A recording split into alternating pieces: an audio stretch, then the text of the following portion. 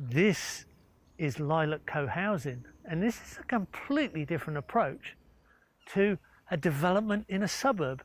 It's an old school ground, and it's been developed with energy efficient buildings. They're panel straw bales, and it's quite high density, and it's just gorgeous.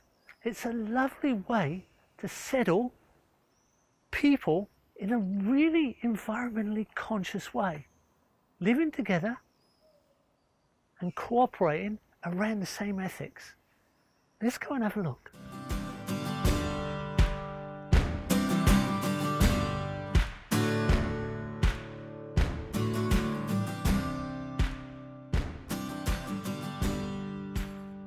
I'm here with Joe Atkinson.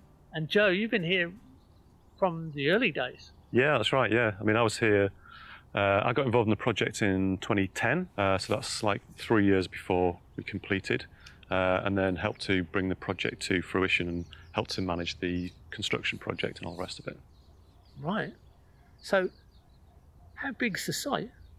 Okay, so we've got three quarters of a hectare in total, and we've got 50 people living on it. So it's fairly dense, but it's kind of suburban level density, really.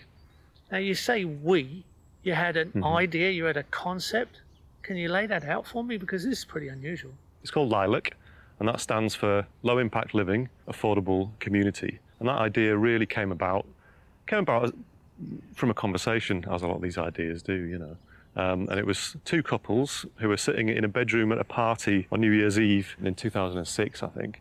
And they were kind of saying, oh, you know, it'd be really nice to live somewhere in a community, somewhere that reflects our values, somewhere where we can bring our kids up that's a really nice place. And the idea just grew from there, really. They got people involved. People, you know, they would start talking about the idea um, to like minded friends. They started getting involved and sort of promoting the idea. And eventually the community just came together and, yeah, built this place. It doesn't look like straw bale because you built in pre-constructed panels. Yeah, that's right.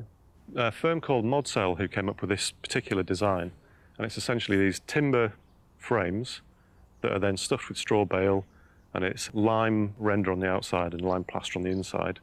Uh, very well insulated walls, airtight construction, so you've got these airtight tapes around the junctions between the walls and the ceiling and stuff. Triple glazing, and then we've got mechanical ventilation with a heat recovery. So you're taking that stale warm air, pumping it out, passing that across a heat exchanger to preheat the incoming fresh air. So that we're really holding on to that heat in the buildings. So in the winter they stay really warm. I know they feel very cozy. Yeah. Yeah. Um, and yeah, I've got spreadsheets of all my like electricity bills and gas bills and stuff. Um, and so my home, it's only a one bedroom apartment, which I guess that's part of the kind of eco living. We don't all need to live in massive mansions and living somewhere like this where we've got a common house and all the rest of it. I don't need to live in a big house because I've got all these shared assets I can use as well. But my energy bills, um, so at the moment I'm paying around about it's about 340 pounds a year for all my gas and all my electricity.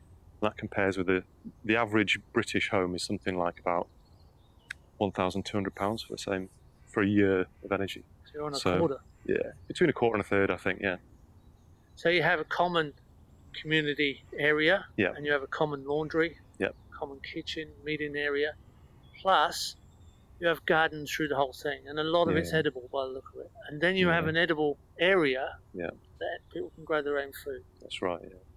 And the gardens here are really designed to have a mixture between a little, you know, a little bit of food, so we can yeah have nice fresh stuff. Biodiversity planting. I mean, Yorkshire's a very agricultural area, and modern agriculture, as you know, um, is basically it's like a factory system.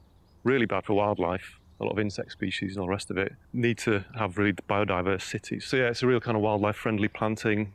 And some of it, you know, it's just nice flowers that kind of make you feel happy and cheer the place up. It's a real mixture. You catch your own water off the roof. Yep. So that the water off the roof goes into water butts. Um, so that's yeah, water for the gardens.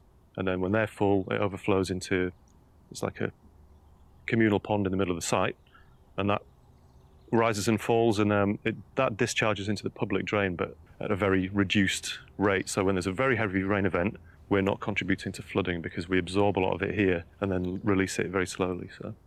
How did you fund this? There's, there's Right. a lot of infrastructure here. Yeah.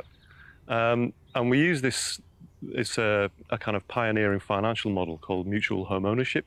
And what that means is the whole thing is owned by a cooperative. Technically, we don't own the house that we live in, but the cooperative owns it. And we all own shares in the co op. It's a little bit like being our own landlord. Uh, the amount of shares we own in the co op is related to partly our income and partly the size of the house that we live in. So if you're on a very big income, you can afford a lot more shares and you can afford a bigger house. You can finance a bigger place. If you're on a very high income, your house kind of gets more expensive. But what that means is that one of the other homes in the project gets cheaper because it's all balanced across the whole project. And that creates affordable housing for people on low incomes. So the money came from a mixture of our own capital that we had up front. Um, we got we got a bit of a grant from the government because we were building using a, an innovative material, using straw bale for the houses, and then we got a, a mortgage from a, an ethical lender for the rest. So are you fully occupied? Yeah, and got a waiting list as well. And a waiting list. Yeah. Slow In fact, we had to close the waiting list because people aren't moving out. That's a good sign. Yeah, people like it here. So you've done a permaculture design certificate course, Yep. and that's all been part of the planning Yeah. involved. If someone was going to want to do this and they want to set out on this journey, what are the first steps I should make? Um, I'd say create a shared vision. That's really important that everyone, everyone feels that they're part of it. But you really need to keep bringing people in and really involving them in a meaningful way. Every so often, you need to then go back and check your vision. But it's that vision. It's that kind of, here's what we're going to do, and here's what it's going to look like when it's finished. It attracts people. But then you've got to really make sure that they own it themselves as well. So yeah, the Good vision. Well, there you go. Lilac co-housing. This is the future of inner city living. And that means many of us can be involved and we can all enjoy the journey.